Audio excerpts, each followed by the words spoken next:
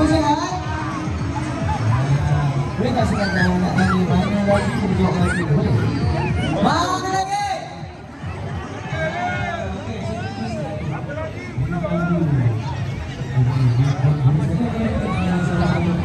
Sino ba?